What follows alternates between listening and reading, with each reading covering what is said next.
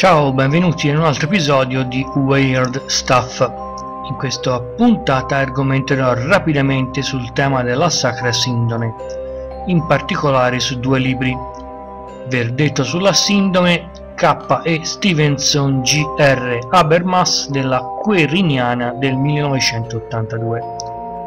Sono decisamente due libri ottime fonti assai migliori di quello che si trova in internet su vari siti che spesso spacciano disinformazione. Ed indagine su un antico delitto MG Siliato, edizioni PM del 1983.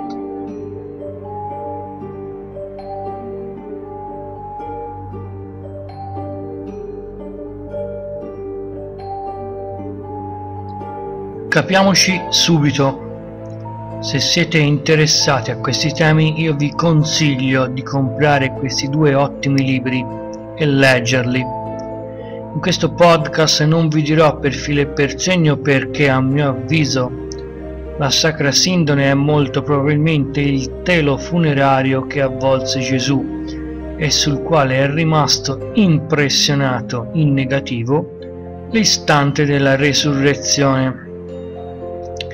Posso dire che dal punto di vista storico la Sindone ha una lunghissima storia che è stata ricostruita con meticolose ricerche di biblioteca. La cosa sorprendente è che nonostante per vari anni si perda traccia della Sindone, i pollini che sono impregnati sul telo e che sono stati osservati con microscopi elettronici dimostrano che la Sacra Sindone proviene dalla Palestina, è stata in Turchia poi in Egitto è stata trasportata in Francia e poi è giunta a Torino.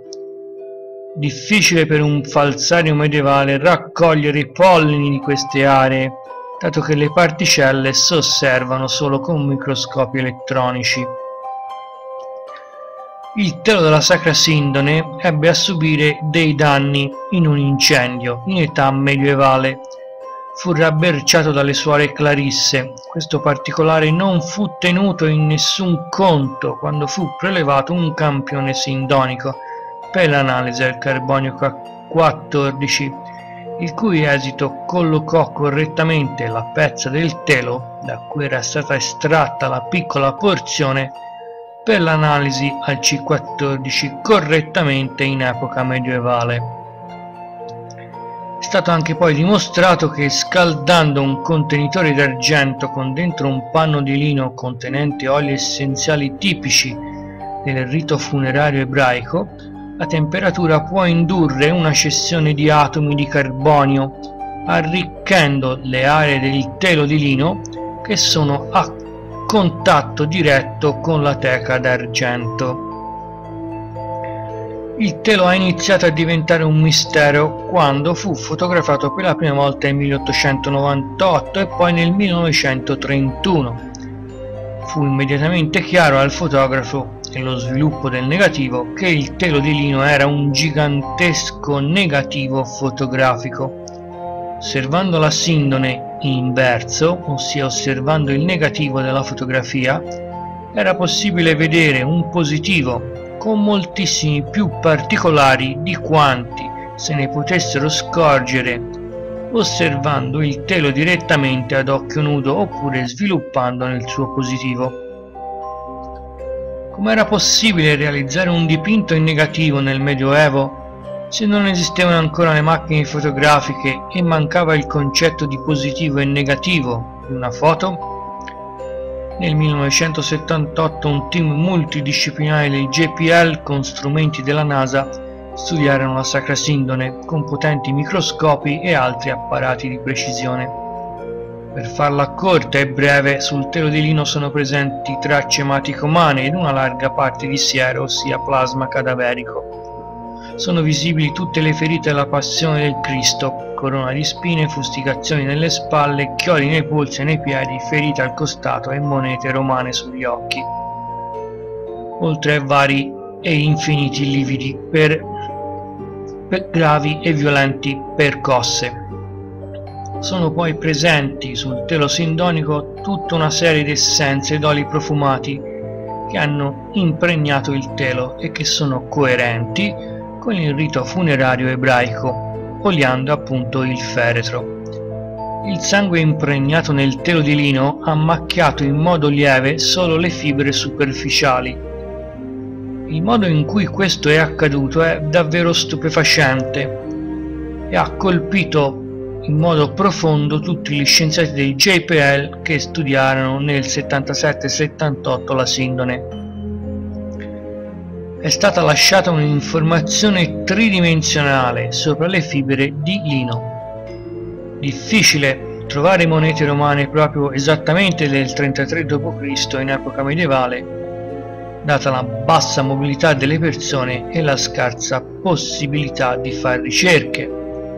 Ancora più difficile dipingere in modo tridimensionale. Era impossibile nel Medioevo produrre una scultura tridimensionale dato che le prospettiva in 2D ancora doveva essere inventata.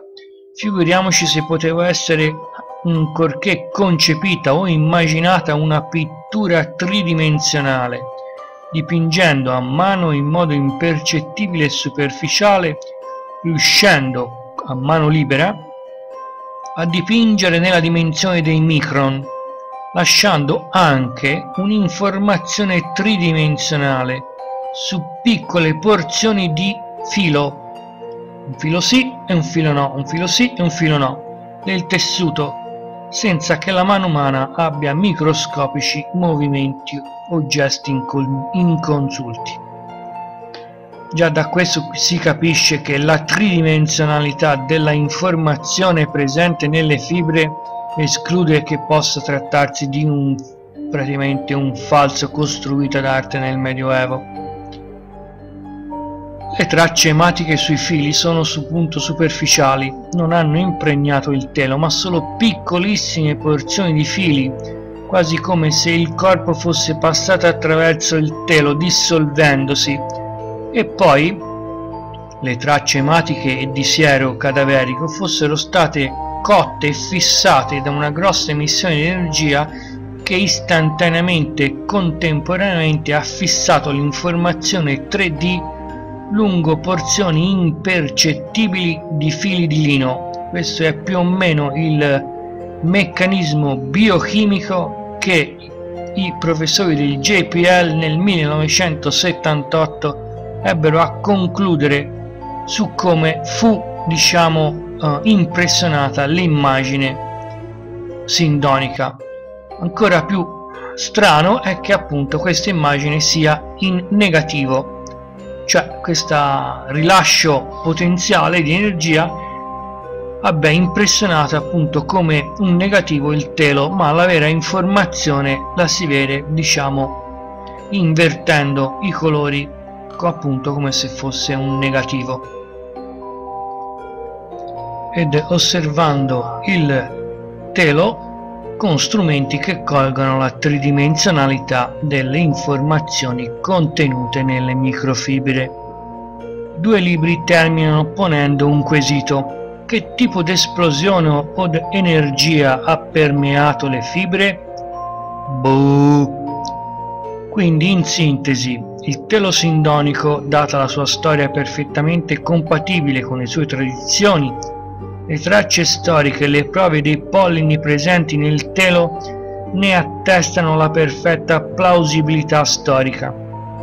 Considerando tutte le ferite che sono perfettamente coerenti con la tradizione della passione del Cristo, considerando il campione di tela estratto per l'analisi di C14 che è stato diciamo estratto senza tener conto della storia del telo e dei rabberci fatti dalle clarisse, considerando la presenza di sangue e plasma umano, considerando le anomale informazioni tridimensionali registrate ed impressionate nelle microfibre di lino. Com'è possibile che un cadavere rilasci istantaneamente un grande impulso d'energia?